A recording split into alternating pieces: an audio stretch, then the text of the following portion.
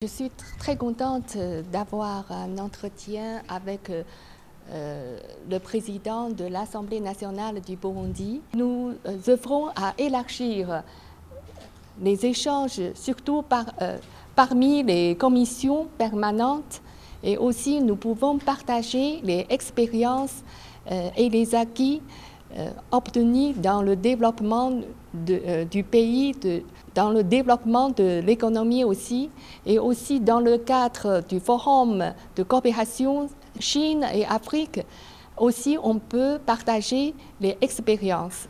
Euh, je crois que nous pouvons canaliser nos efforts euh, pour renforcer notre capacité sur la gérance de l'État et pour promouvoir euh, la démocratie par les constitutions.